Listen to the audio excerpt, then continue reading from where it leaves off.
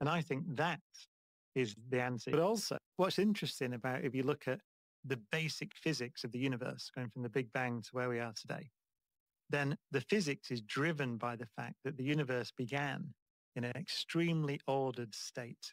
So it was a very highly ordered system.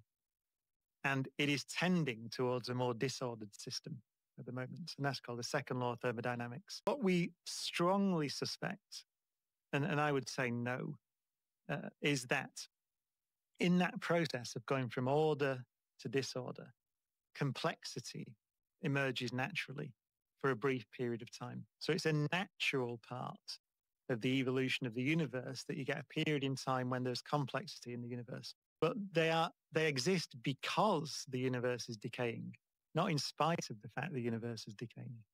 So our existence in that sort of picture is necessarily finite necessarily time limited. And it is a remarkable thing that that complexity has got so far that there are things in the universe that can think and feel and explore it.